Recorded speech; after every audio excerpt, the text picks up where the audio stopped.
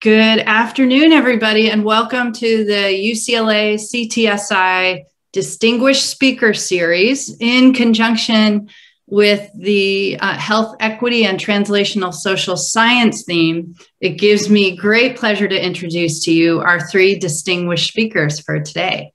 Uh, they are going to talk, speak with us about inequity in trauma care in sub Saharan Africa, opportunities for a multidisciplinary approach and we are joined today by Kevin Blair. Kevin is one of our residents in surgery here at UCLA doing his research years, three of them. Um, he received his undergraduate degree from Vanderbilt and medical degree from Northwestern. And he right now is earning his master's of science in public health through the London School of Hygiene and Tropical Medicine. His research is funded by the South American Program in HIV Pre- Prevention Research, or SAPHIRE, and the H&H Lee Surgical Research Grant. So that's Kevin. We also have with us uh, Dr. Catherine Juillard, who is the co director of the Program for Advancement of Surgical Equity Dr. Juillard is an extraordinary surgeon and researcher. Um, she has just secured a D43 and a U54 written during a pandemic um, with incredible partners that she has in Cameroon. And uh, this has been a long time coming. She has an extraordinary career behind her and an even ex- more exceptional one ahead of her. Um, and uh, and she is a product of UCLA um, in terms of medical school and um, and her residency program. And she um, had uh, the opportunity to bless me with her presence at UCSF um, as a fr- as a fellow in trauma and critical care. And now she's back with us as an associate professor at UCLA in trauma and critical care. And then finally, we have Lauren Elizabeth Eyler. Lauren uh, comes from uh, uh, UC Berkeley, where she is right now earning her PhD in biostatistics. Um, I got an opportunity to meet Lauren when she was a medical student at UCSF, and she went on to start a surgical residency. And um, some would say saw the light and is now uh, earning her PhD in biostatistics.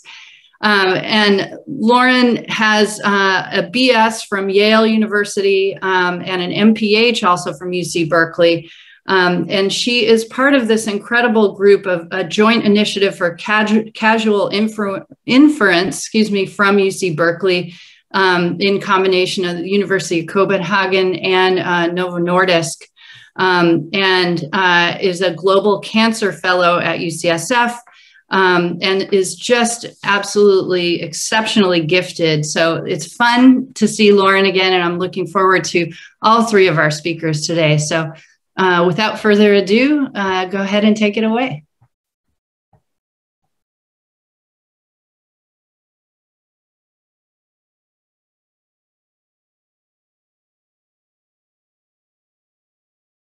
Hi, everybody. Thank you so much for that very generous introduction, Dr. Dicker. Um, my name is Catherine Juillard, and I am a trauma surgeon at UCLA. And uh, I'd just like to thank everyone for the opportunity to share our work with you today. Um, like Dr. Dicker said, we're going to do this talk with the help of two of our trainees at the Program for the Advancement of Surgical Equity or PACE, uh, Dr. Lauren Eyler Dang and Dr. Kevin Blair, and they are both rising stars and future leaders in global health. Um, together, we'll be presenting on inequity in trauma care in sub Saharan Africa, which we really think has a variety of opportunity for transdisciplinary collaboration. Here are our disclosures. So, first, I'll give a brief introduction of trauma as a public health problem and then introduce a challenge our own team faced in working towards addressing it. And then I'll hand it off to Dr. Eyler Dang and Dr. Blair to describe how we approached its solution. The WHO estimates that nearly 6 million deaths occur annually from injury, which is 10% of the world's deaths and 32% more than the deaths from HIV, TB, and malaria combined. And this is a growing problem. Three of the global leading causes of death are due to injury mechanisms, and road traffic injuries alone are projected to be the fifth leading cause of death by 2030. Contrary to what many people may think, 90% of these deaths occur in low or middle income countries. So, this is a big problem, and injury and mortality in sub Saharan Africa is among the highest in the world, but it is only increasing as countries industrialize. Although the burden of death and disability due to injury is enormous, less than 1% of global health funding currently goes towards injury research. As a trauma surgeon who was a Peace Corps volunteer back in my in my 20s, I served in Senegal and West Africa. I became very interested in the public health approach to this surgical disease that is disproportionately impact, impacting sub Saharan Africa, but it's relatively underfunded and unaddressed. When I joined UCLA three years ago, HET's theme co lead Dr. Rochelle Dicker, also a trauma surgeon, and I worked together to create the Program for the Advancement of Surgical Equity, or PACE. We have a multidisciplinary faculty, which includes surgeons from several different specialties, as well as core faculty with expertise in biostats, Dr. Alan Hubbard from UC Berkeley, and Dr. Sandy McCoy, who is an epidemiologist with uh, expertise in implementation science. Um, we have a portfolio of research projects that are broadly grouped based under US based and global health themes. Um, PACE's local work is led mainly by Dr. Dicker and focuses on violence prevention and intervention and whole person trauma care at the local and national levels. And we also have two uh, amazing uh, surgeons, Dr. Shonda Revels and Dr. Jesus Ulloa, who work on sur- surgical outcomes disparities in the US. On the global health side, we have long term partnerships in Cameroon, Uganda, and Armenia, each with a local director of research based in that country. And for this talk, we're going to discuss the work with our partners in Cameroon, led by Dr. Alain Chichom, with whom I've been collaborating since 2008. Cameroon is a Central African country, and our primary partner there is the University of Buea, again led by Dr. Alain Chichom, and he is the chief of surgery there and the vice dean for research there. He oversees several study supervisors and 11 research assistants right now, uh, who all are the research infrastructure uh, for our partnership. The US partner is the Program for the Advancement of Surgical Equity, uh, with our faculty and our amazing pro- program managers. I want to especially highlight Dr. Rashidat Oke, who is uh, an essential uh, um, piece of our collaboration with Cameroon. She really works closely with everybody. Uh, we also have a close relationship with the Cameroon Ministry of Public Health, which is important, and I'll get to that in a minute. It's led by Dr. Georges Tundi, who uh, has two, he's had two of their staff assigned as points of contact for our projects, uh, including Dr. Dissak Delon, pictured here, who oversees our Cameroon trauma registries, which brings me to uh, my next uh, topic here. When we first started collaborating in 2008, there was essentially very little available primary data on injuries in Cameroon. There were some modeling estimated uh, estimates um, provided by the WHO, but that was really it. Now, in the US, trauma systems development started with the initiation of trauma registries. Trauma registries are hospital based databases uh, that consist of data on trauma patients that are abstracted mainly from clinical records, and they include things like demographic information, injury mechanism and presentation, the patient's clinical course, and clinical outcome. And in the United States, trauma registries were first instituted around 1970 in Illinois and rapidly expanded to the rest of the country, becoming an essential source of data for injury epidemiology. They helped provide data for trauma research. Uh, they helped guide resource allocation for trauma centers and really became the cornerstone of trauma quality improvement programs. Currently, all level one trauma centers, including UCLA, are required to submit data to the National Trauma Data Bank, a centralized repository for US trauma data. Ultimately, trauma de- uh, registries are really fundamental to the development of a mature, organized trauma system. Trauma systems organization and trauma quality improvement programs have been shown to increase survival in trauma patients, and ultimately, they both depend on data from these registries. Now, given the potential benefits of instituting trauma registries and the need for injury data in Cameroon, Dr. Chichom and I began in 2008 by creating a pilot trauma registry at a single hospital. Over the first years of our collaboration, we worked on refining the methods of data collection and the systems we had in place, and we published a few of the first studies in Cameroon on injury.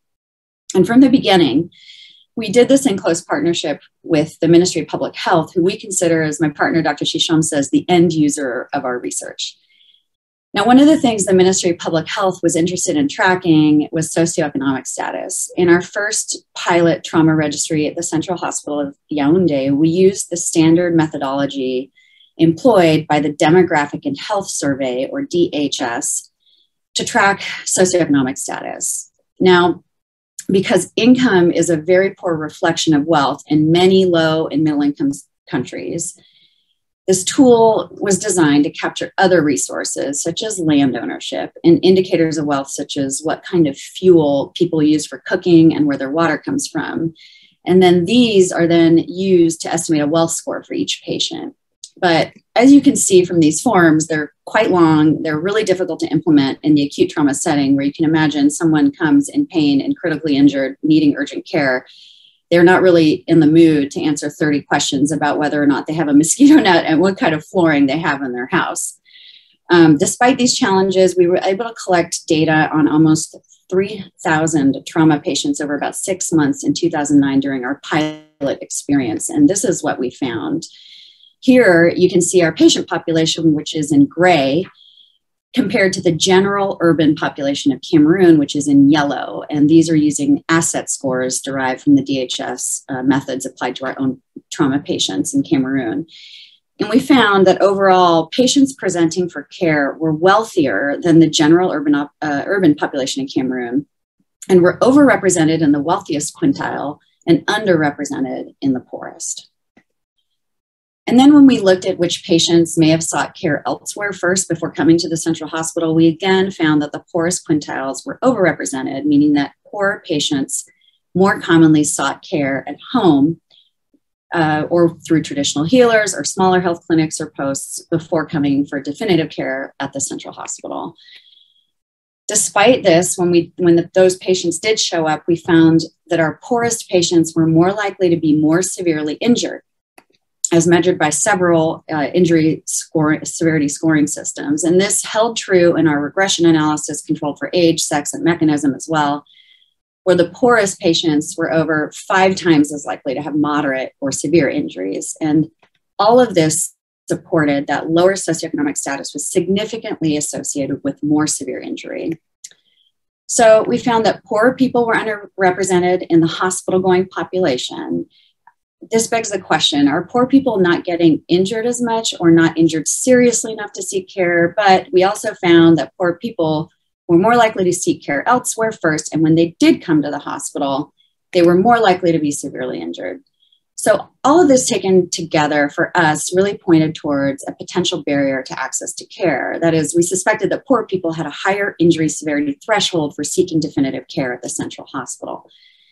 Now, more recently in 2015, we were able to take what we'd learned from our early pilot trauma registry and implemented a centralized trauma registry at four hospitals of different sizes and different catchment areas and different populations that they serve um, in Cameroon. And the overall goal of this Cameroon Trauma Registry project is to inform national injury policy and guide trauma care quality improvement strategies. And again, our main partner and end user in this project is the Cameroonian Ministry of Public Health. And they again were interested in tracking SES. And you can imagine when you find a health disparity, the impulse is to try to fix it. And that requires measuring the disparity, developing and testing a potential solution, then measuring it again, implementing that solution more broadly, then measuring again. And you can see you require a feasible method of equity surveillance. And the problem is that in the acute care setting, such as trauma, the standard DHS methodology is just not feasible. We needed a way to measure it with much fewer questions. And that is the challenge I presented to Dr. Eyler Dang, who will next tell you how she attempted to solve it.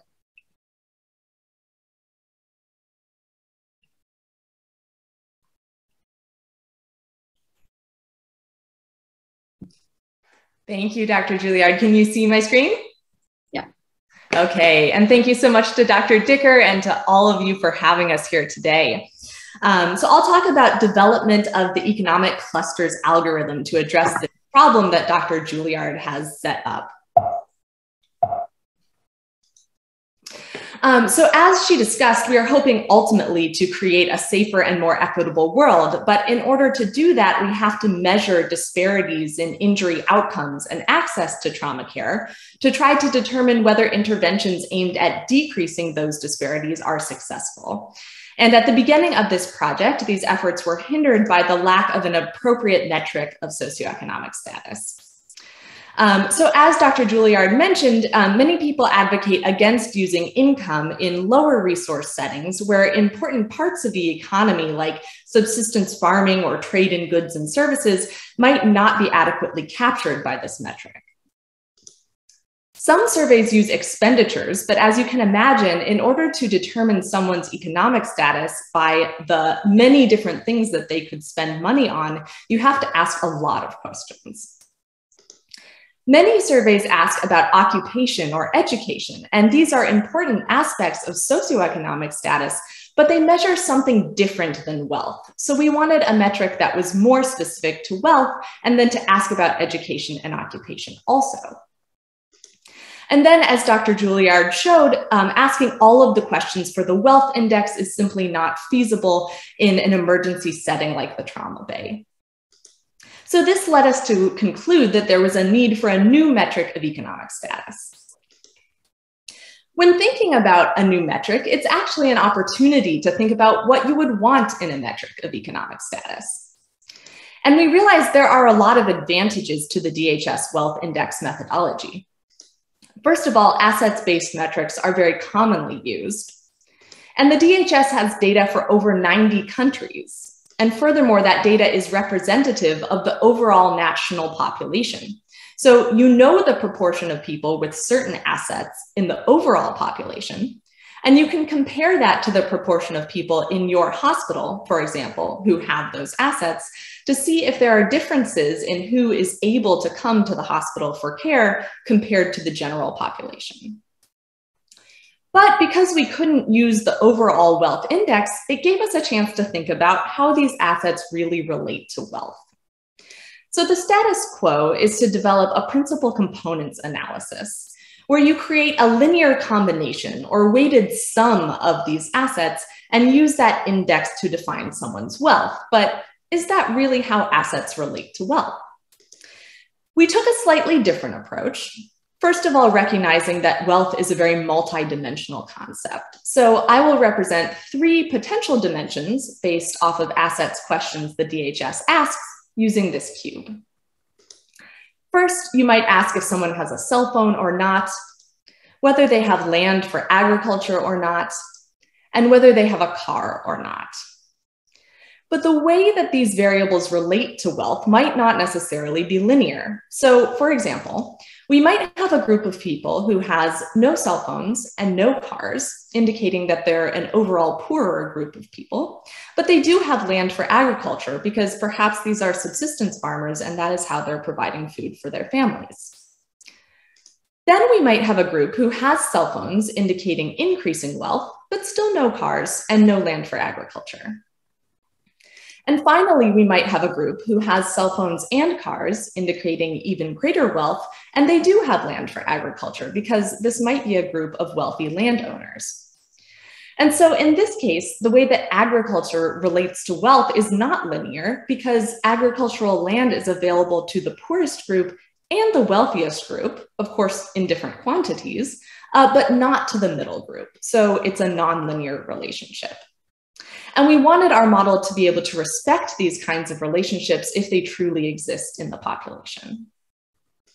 Our goal is to identify true population groups, that is, groups of people with shared common asset profiles, while recognizing that there will be people with less common asset profiles, and we still want to assign everyone to a group.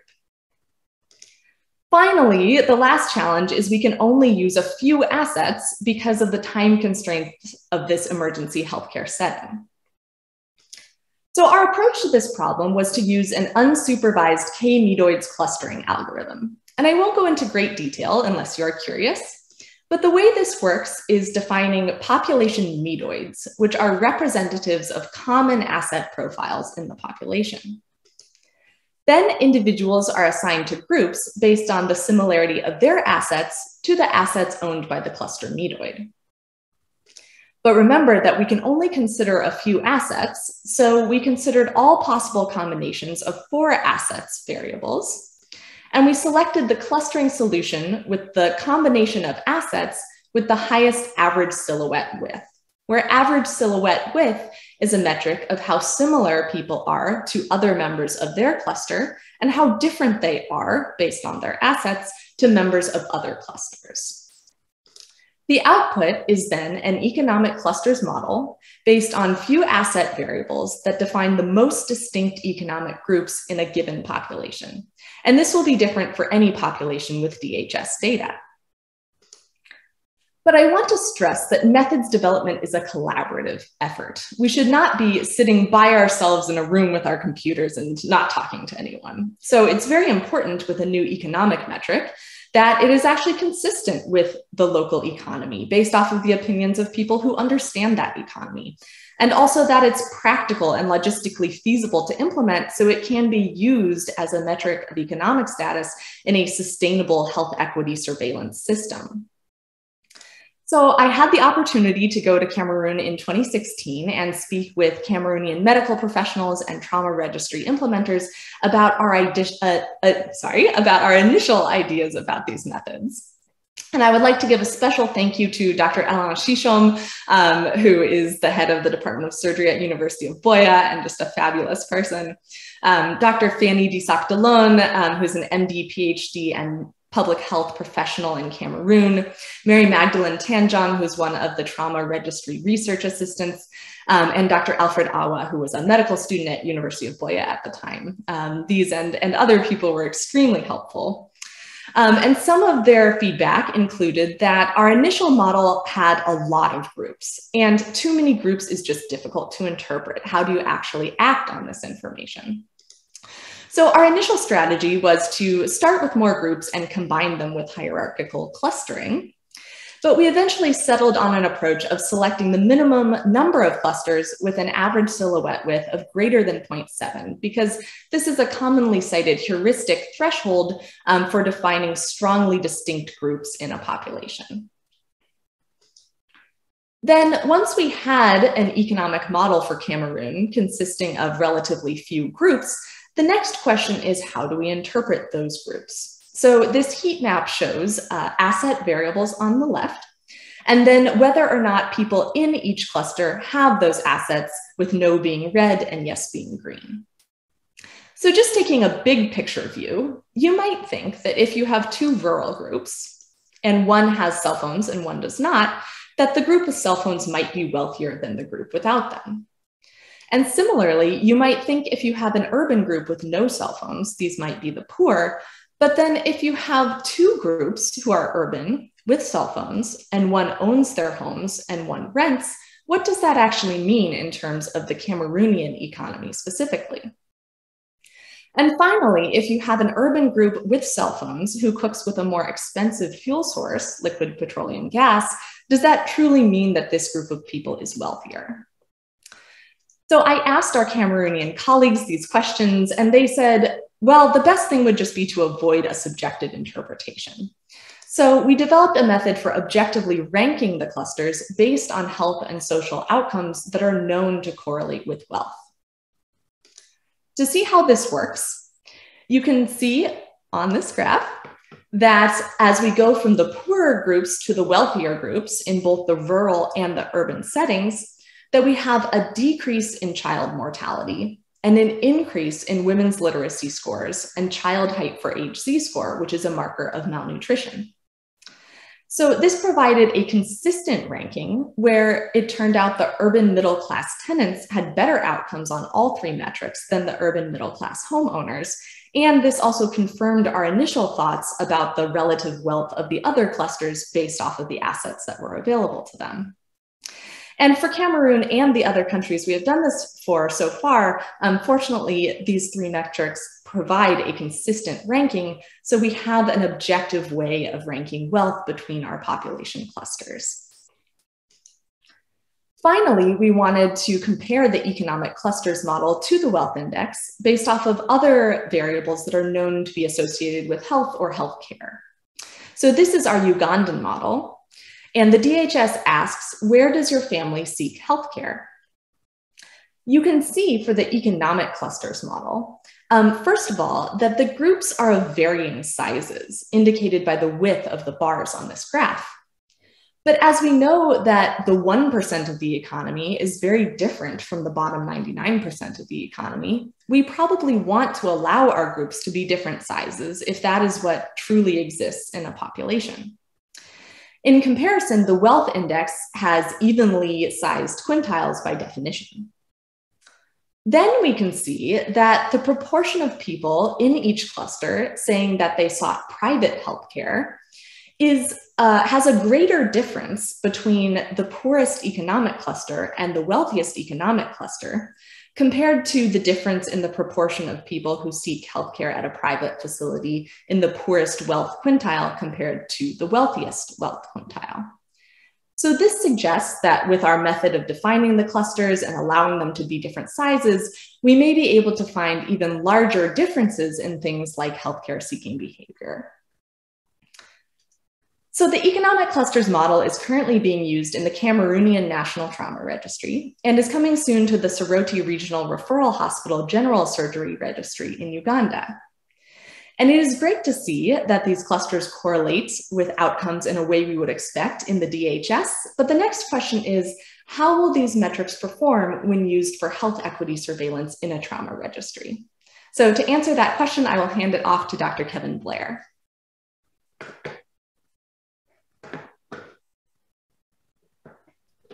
All right, thank you, Lauren. Um, thank you to Dr. Dicker for the introduction. Uh, as she said, I am, uh, my name is Kevin Blair. I'm a general surgery resident at UCLA. And I'll be presenting one example of how we have applied the household socioeconomic status clustering to the national uh, Cameroon National Trauma Registry data. So I'll be presenting some of the results from a project in which we looked at social determinants of health as risk factors for violent injury in Cameroon. Now, this is just one of a number of projects where we've been able to implement the SES clustering uh, questions and clustering categorization into our analyses. Uh, but for this one, the background is that injury is increasingly viewed as a preventable disease. Dr. Juillard laid this out very well in the beginning of the presentation. And specifically, when we look at interpersonal violence related injury, things such as assaults or homicides, uh, there are a number of known modifiable risk factors, many of which are considered social determinants of health. Things such as education, employment, uh, socioeconomic status. And these are known to contribute to a variety of health conditions, uh, but in our case, we're focused on injury. And so with this project, we looked at describing associations between select social determinants of health and interpersonal violence related injury in Cameroon. The study population came from patients presenting to one of the four National Trauma Registry hospitals between October of 2017 and January of 2020. And for this question of interpersonal violence related injury, we chose to exclude children. And that left us with a total sample of 7,596 patients. Uh, for this study, our primary outcome was interpersonal violence related injury. And we compared that against those with unintentional injury, things such as road traffic incidents. Uh, when patients come into the hospital on the data collection form, there is a question about intent. We chose to exclude those presenting with suicide or self harm, since that's a very distinct type of injury. And that left us with a dichotomous outcome. Our key exposures were social determinants of health that are known in especially high income countries to be associated with violent injury. Uh, we looked at house, household socioeconomic status cluster, which Lauren just described very well for us, uh, in addition to education and occupation, uh, which she also mentioned were distinct and should be measured separately. And our covariates in our modeling were age, sex, hospital, and alcohol use. Now, before I get into the specific results, uh, the results specific to interpersonal violence related injury, I want to share a few slides with some descriptive data of the clustering applied to our trauma registry data. So first, uh, again, our sample is 7,000, uh, 7,600 patients aged 15 or older. And here we see a breakdown of how they are grouped into the six clusters here on the left uh, with an additional grouping of missing. You see the number of patients and the percent of the total sample that fall into each of the six SES clusters. And for comparison, I've presented the breakdown in the DHS dataset that was used uh, to initially create the clusters. And if you compare the two, uh, you see that similar to what Dr. Juillard described earlier, uh, that the patients presenting for hospital level care, particularly at these urban or peri-urban hospitals, are, per, are have a greater percentage uh, of patients in the urban middle class tenant and the urban wealthy SES clusters, uh, which, as she presented earlier, we've described and we are currently working to understand this, this difference better.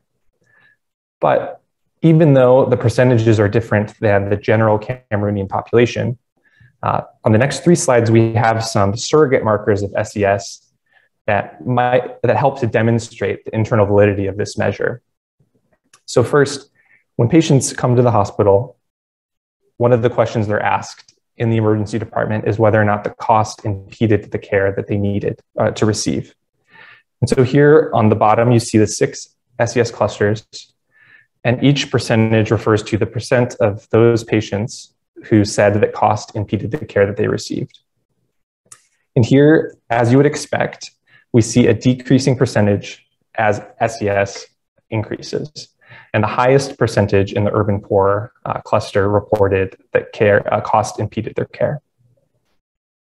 Next, looking at occupation, we asked patients to report occupation. One of the categories is unemployed.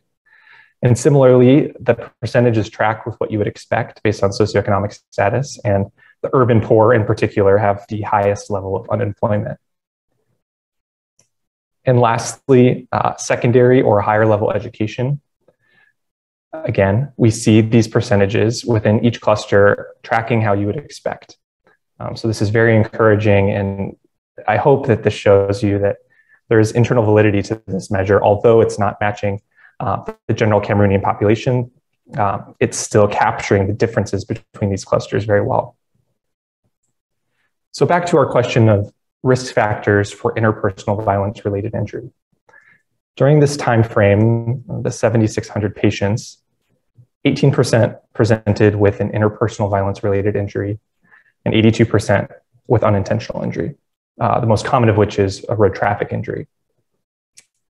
To give you a better sense of what interpersonal violence related injury is, uh, the majority are presenting after blunt assault. Uh, 30% are presenting after a knife, stab, or cut wound. And 5% uh, in the urban Cameroon setting, setting present after firearm injury. So our question was, are social determinants of health that we know increase risk of violent injury in the US or in other high income settings uh, are there associations in the Cameroonian population? So this was a multivariate regression model adjusted for age, sex, hospital, and alcohol use. And the first of our key exposure variables were, was using the household SES cluster. And first, I want to point out that in this analysis, we chose to combine rural poor and rural wealthy clusters due to the small sample size of the rural poor cluster and recommendation from one of our reviewers. Uh, but here you see um, the odds ratios, adjusted odds ratios compared to the urban wealthy, the highest SES cluster. And you see strong evidence to suggest that patients who are in the rural clusters or the urban poor clusters have an increased odds of presenting with interpersonal violence related injury. Or said another way, patients who come in with an interpersonal violence related injury, such as assault, a stabbing, or a gunshot wound, have increased odds of being from one of these lower SES clusters. We also included occupation as one of our key predictors. And when you compare to self employed patients, uh, there is very strong evidence to suggest that unemployment increases the odds of having an interpersonal violence related injury. And lastly, when we look at education, our reference uh, category being university level education, uh, there's moderately strong evidence to suggest that primary or no formal education increases uh, odds of having interpersonal violence related injury. And so, taken together, we see that all three of our predictors uh, have significant associations with the outcome of violent injury. But what do we do with, with these results, with these data? Uh, starting first with the specific question of risk factors for, for violent injury, it is important and uh, encouraging to see that we are able to identify similar associations between interpersonal violence related injury and social determinants of health as we see in high income countries. Uh, most of the publications and most of the data that have identified associations such as these have come from places like the United States, where there's well established trauma registry data banks. Uh, but there is very limited data on injury epidemiology in general in sub Saharan Africa and especially on risk factors. Um, so, this is an important first step to creating interventions. But identifying disparity in this question or any of the other ones uh, is not a solution. And we have ongoing work uh, at the community and the hospital level with quantitative and qualitative research seeking to understand why we see these disparities and what potential solutions are. Uh, if anyone on the call uh, does work in injury prevention in the US, I know Dr. Dicker and Dr. Juillard both do. Uh, an interesting question with this particular study is whether or not hospital based interventions could work in a setting like Cameroon.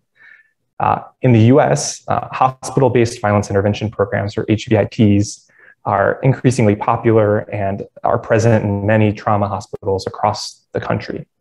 And the idea with these programs is to identify patients when they come into the hospital who are at high risk of having a recurrent or another violent injury, uh, using the time in the hospital as a teachable moment to connect them with resources uh, to help reduce the risk of having an injury in the future and of dying of an injury in the future.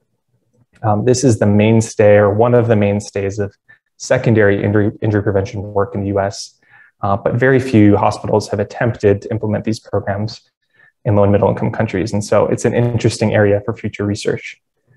But more broadly, what are implications of using these the SES cluster that Lauren described uh, in our work in Cameroon? Well, first, we saw in the association with mortality and education that uh, Lauren presented that there is consistency with other measures of health.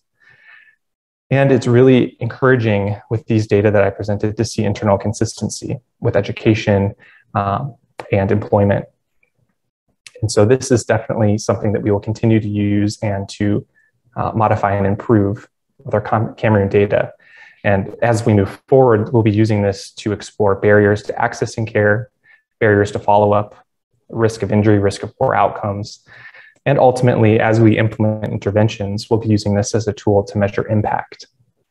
Uh, ultimately, this is one piece of many that uh, goes into working to achieve uh, health equity for our trauma patients in Cameroon. And with that, I'll pass back to Dr. Juillard, who will finish up with some exciting next steps uh, with our collaboration.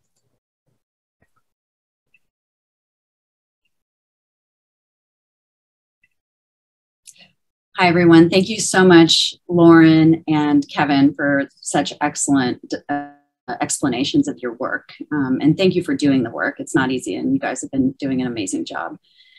Um, now, I'd like to focus on what we have planned for the future.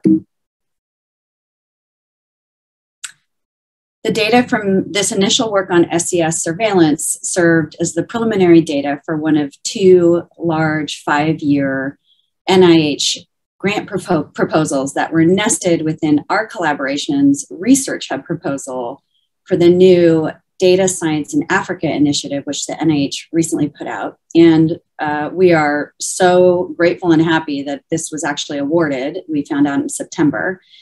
Um, and so, with this funding, we plan to develop and validate economic clusters for all 37 countries in sub Saharan Africa with available current DHS data and create a free platform with several tools that will allow researchers who are interested in health equity in sub Saharan Africa to use the algorithm in their own data and assign clusters to their study subjects so they can track equity issues in their own research. Uh, the DSI, Data Science in Africa U54 opportunity is going to allow us also to create the Data Science Center for the Study of Surgery, Injury, and Equity in Africa, or Design Africa. That will be located at the University of Buea. And the goals will be to use data science to decrease the burden of injuries and surgical diseases through improved surveillance, like we were describing today, prevention and treatment, and to improve equitable access to quality surgical care in Cameroon and ideally other sub Saharan African countries.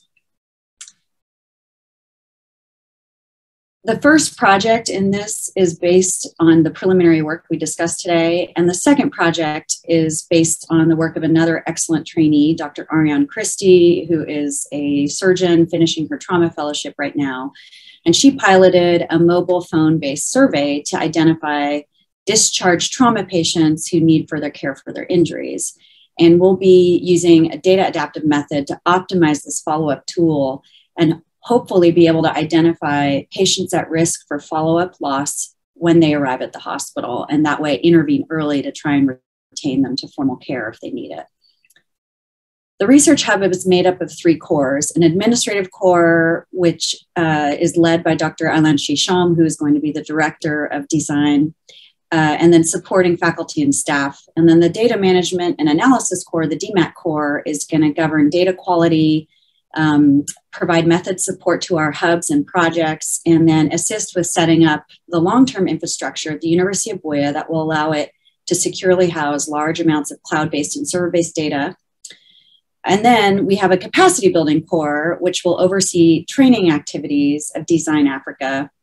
And that'll include career development um, and methods training of our trainees in sub Saharan Africa, uh, as well as a seed grant program to support African investigators who are interested in exploring and researching our core themes.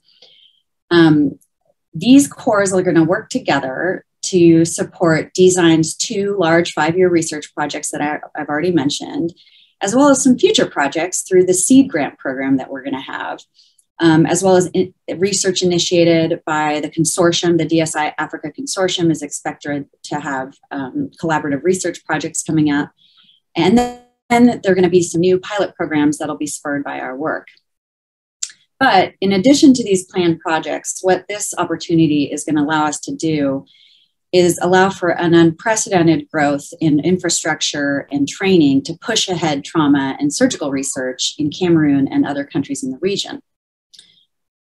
The M Health project, project number two, is going to involve scaling up our current hospital based trauma registry, which includes four hospitals, to 10 hospitals. And that'll provide the Ministry of Public Health in Cameroon with one of the largest multi institutional trauma databases in sub Saharan Africa.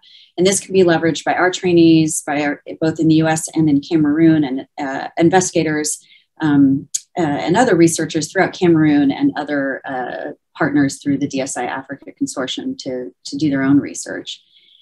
Uh, the hubs and projects are going to require the hiring, training, and long term investment in approximately 30 new research staff, as well as the development of a robust data science hardware, programs, networking, all of which will provide uh, trans- real transformational infrastructure for future public health research at the University of Buea.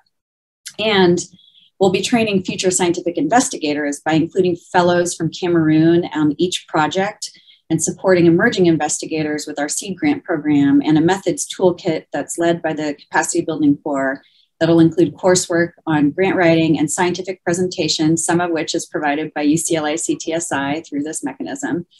And those things are often the rate limiting steps for the leap to investigator independence our group is incredibly grateful to have this opportunity to be part of this incredible consortium and learn from all the other grantees. Um, and but it also really dovetails nicely with another program we have planned, It's also supported through the NIH, uh, this time through a D43 trauma training grant. And that will allow us to strengthen the quantitative pipeline for trauma research training in Cameroon through our program, which we're calling the Sustainable Trauma Research Education and Mentoring, or STREAM program.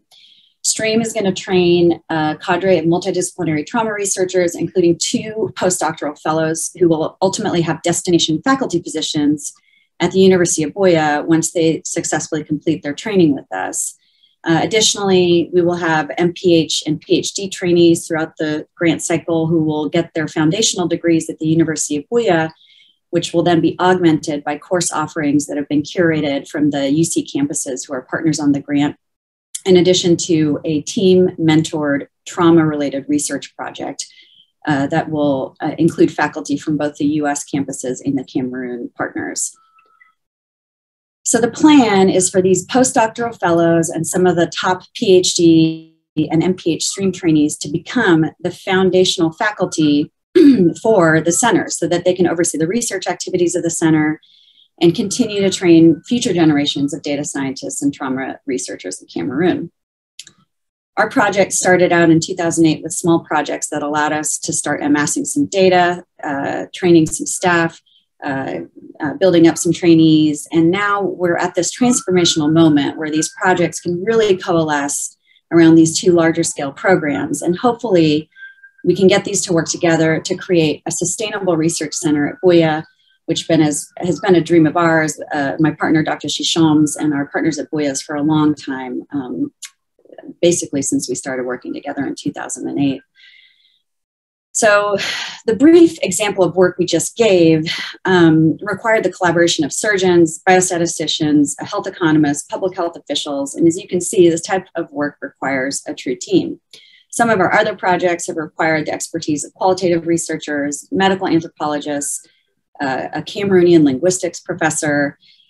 These questions that we're asking are complex and really we have to have a, a, real team to answer them. We have implementation scientists epidemiologists we need policy experts and others. It's really a team sport. Uh, pace is really centered around a multidisciplinary core faculty but one of the reasons i came to ucla was because of the breadth and depth of diverse experience to be found here and i wanted to end this talk by saying that we really would welcome anyone interested in these topics that we're exploring who has a diverse academic background to, to feel welcome to co collaborate with us. We would love to partner. Um, here are our references. And with that, I wanted to say thank you so much for allowing us for the opportunity to share some of our work today. And I'd especially like to thank my colleagues in Cameroon, Dr. Alain Chichom, uh, Dr. Etundi and Dr. Manono, as well as the staff at the University of Buea and the Ministry of Public Health and our study research staff uh, who make all of this work possible. Um, and with that, we'd be happy to take any questions. Great. Thank you so much. This was absolutely wonderful. And um, thanks to Ian, um, we have the ability to have anybody ask questions out loud instead of doing the q&a um, so i encourage any of you to to um, ask questions of our panelists yeah thanks so much ian for doing that It looks like everybody will have the opportunity and and in particular dr chichom is with us from cameroon right now so not to totally put you on the spot but if you'd like to say something dr chichom you are welcome to as i think you're you're your talking is permitted on on our Zoom. Thank you, my, my, my very good friend, Dr. Rochelle. Uh, it, it's always good to, to talk to you, and I'm particularly uh, delighted to have Lauren and Kevin uh, on board. Uh, you guys had a, a, a, really great, great talk. Uh, it's really uh, reflecting what we've been doing in Cameroon. Uh, all I want uh, everybody to know is that there is something that is really happening in Cameroon right now. Uh, and it's only going to get better and better, uh, especially with Uh, what we just secured, uh, as Catherine told you, we just secured uh, a huge opportunity of shifting from the minor things that we've been doing so far to big data stuff So it's going to change. It's going. It's a game-changing opportunity that we've just got uh, right now. And uh, when you combine it with the other uh, capacity building opportunity that we got, uh, I, I, think we, are making some uh, progress, and we hope to be able to make an impact not only from for Cameroon, but for all African countries. Just imagine that we are able to develop based on the work by Lauren and Kevin.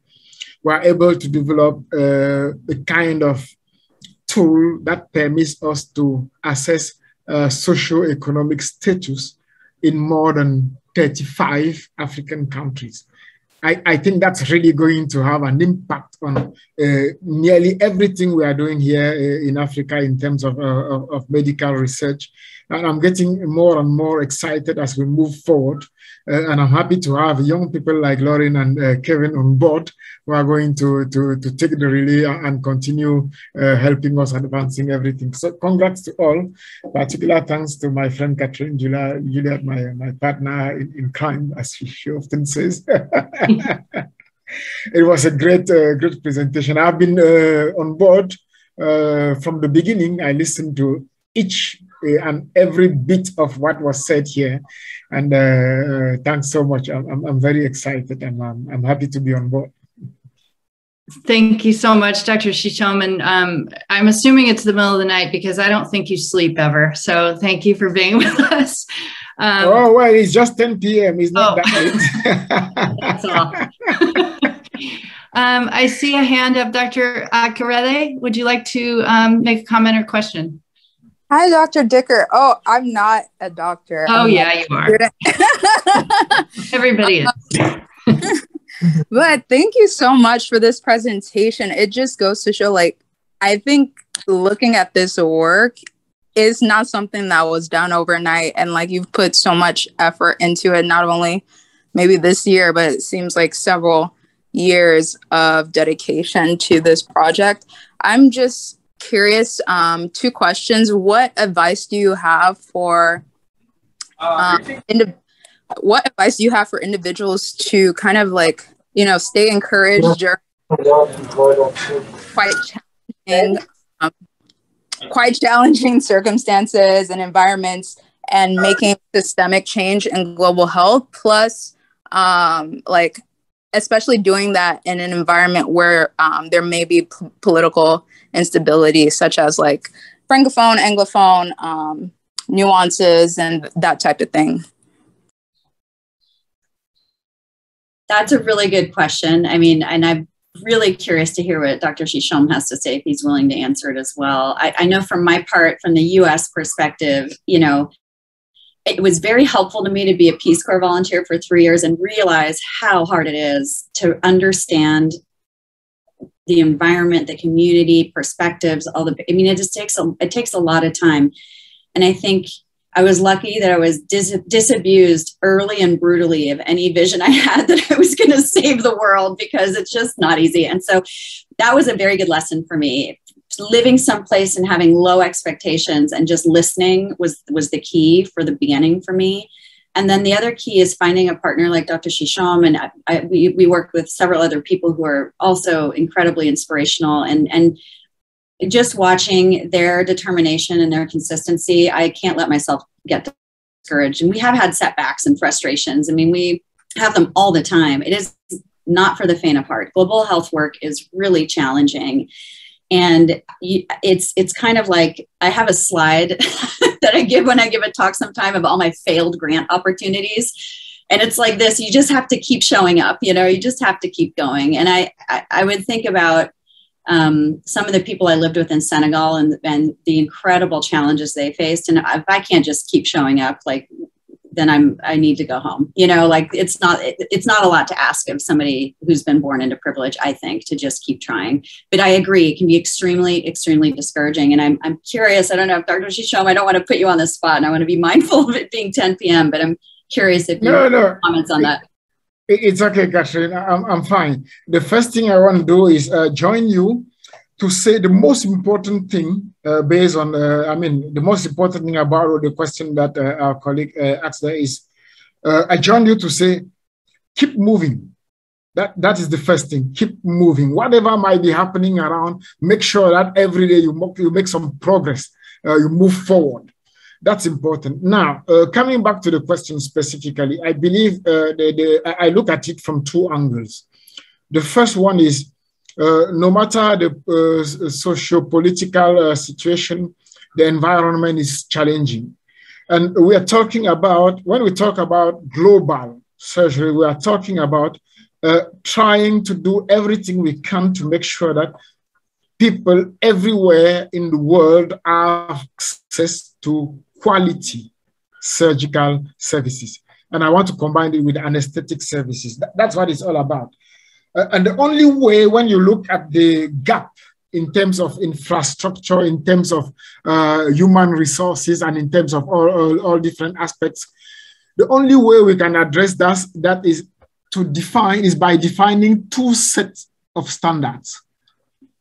Two sets of standards. We need to adapt what is considered gold standards elsewhere to uh, the conditions of, uh, of practice that we are having here. And that's what I've been doing for the past uh, 15 years or so, doing everything to adapt what is considered standard under uh, ideal conditions, what is considered gold standard, to adjust it to the conditions of practice with a, with a, with a limited setting. Uh, that impo- it implies acquisition of data because uh, wherever, no matter from what angle we take it, it, it always takes us down to the same issue, data, acquisition of data.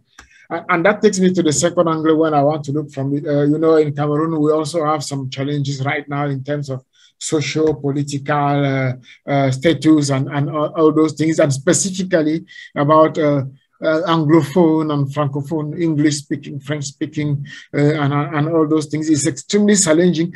Uh, to me, it's still another opportunity uh, to acquire data, look into specific situations, define objectives, uh, still with the aim of making sure that every day we move forward in terms of uh, providing those who are working under such conditions with data that they may need to be able to guide their decisions. Uh, not only those in the field, but also decision makers, uh, providing decision makers with data that can guide policy, especially under such conditions. I hope this helps. Thank you so much. Uh, any other comments? We have a we have three minutes left. Any other comments or questions before we get last thoughts from our distinguished panelists? I have a comment. Can you yes, yes please. Yeah, uh, regarding Armenia, it is uh, uh, the center of conflict of a civilized nation surrounded by uh, savage uh, neighbors, and they are having conflict at multiple levels. So the world should intervene to teach to behave properly all parties concerned because they are angry of each other. And by the way, they are uh, their ideology is savage, destructive. That is uh, the origin where the uh, where they came from central uh, China. They came to this area as Armenia, as the first Christian nation, the world should be proud of them. As far as Africa is concerned, I'm, I, now I am coming uh, to Africa. I, am Armenian, by the way. Africa is also having conflicts, neighboring conflicts. It, Africa is one of the oldest uh, humans there. I mean, the origin, they came from there, humanity. The point here is that these conflicts, I mean, if you take Ethiopia or uh, or other conflicts, uh, Kenya, and all that had that conflict. The same thing is being repeated in, in, in more civilized region, that is Armenia, surrounded by uh, historic uh, savagery. Okay, go uh, uh, as far as health is concerned. Uh, when the, there is political conflict, there is health conflict. I mean, the political conflict will flood the uh, health. Indeed, yeah. we we just have uh, we just have a few seconds left, Doctor or uh, uh, Mr. Yanikian, uh, Dr. Yanikian. We're having a little trouble hearing you, so I'm going to just quickly pass it back over to our, our panelists for final thoughts. Okay, thank you. Uh-huh. Hi, everybody. Um, I just want to really thank everyone uh, for listening and for all your questions and your enthusiasm. And I also want to thank uh, Dr. Dicker um, and the CTSI and, and the health equity uh, theme for translation to social sciences. I really appreciate your, your invitation. And especially I want to thank our Dr. Chichom for showing up, even though it was 10 p.m. in Cameroon, but I shouldn't be surprised. He's always showing up, like he says. Uh, and, and, Lauren and Kevin for for your excellent work as always. So thank you all so so much. Thank you very much, and thanks to the CTSI, Ian, Lucy. Thanks very much. We'll see you all next time.